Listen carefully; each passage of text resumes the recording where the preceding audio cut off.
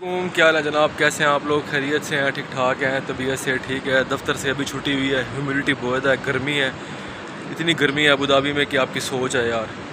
तो अभी बस, यहाँ से मैंने लिया है, एप्पल ली है और, एक गाजर ली है। क्योंकि मैं डेली सुबह को जब उठता हूँ तो एक एप्पल खाता हूँ और दोपहर को खाने के बाद एक एप्पल खाता हूँ और एक गाजर खाता हूँ। डेली की मेरी यही रूटीन है। तो इस मार्केट से मैंने गाजर लिया और एप्पल लिए हैं। और ये है वो जगह जहाँ मैं अक्सर बैठता होता हूँ। अक्सर क्या, डेली यहीं पर ऑफ़िस के आने के बाद यहीं बैठता हूँ। ये है वो जगह जहाँ मैं पहली दफ़ा बैठ के रोया था। जब मैं यहाँ पर आया था ना अबू धाबी में, और वो मस्जिद है, उस मस्जिद में मैं नमाज़ पढ़ता था। उस मस्जिद में नमाज़, और इधर बैठ के मैं रोया था। पहली दफ़ा जब मैं रात के टाइम आया था, और रात के तकरीबन ढाई बजे का टाइम था जब मैं अबू धाबी में लैंड किया था। और प्रदेश एक ऐसी जगह है यार जहाँ पर किसी का खुशी से दिल नहीं लगता है। रो के, धो के, मजबूरी से वक्त गुजरता है इंसान का।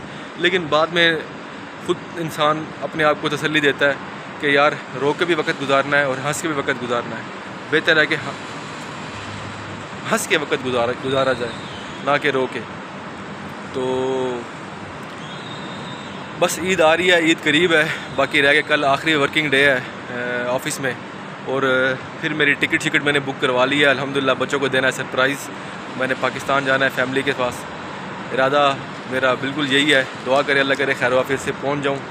और बस अब चलता हूँ। थक गया हूँ, काफ़ी ज़्यादा काम था आज काफ़ी ऑफ़िस में। और उसके बाद फिर एक्सरसाइज करूँगा। एक्सरसाइज करके फिर सो जाऊँगा। सुबह को फिर वही रूटीन तो बहरहाल, सोचता था कि यार वो कहते हैं ना, रहे दिन वो, नहीं तो रहना ये भी नहीं है।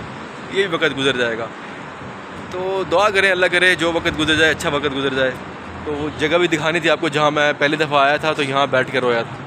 ये जगह रोई थी। और इस जगह से मैं बड़ा मानूस हूँ। मैं जब भी ऑफ़िस से आता हूँ, यहाँ पर बैठ के आप लोगों के साथ वीडियो बनाता हूँ, आप लोगों से बातें शेयर करता हूँ अपनी। तो अगली वीडियो में करते हैं मुलाकात। थक गया हूँ यार दुआ में रखें यार।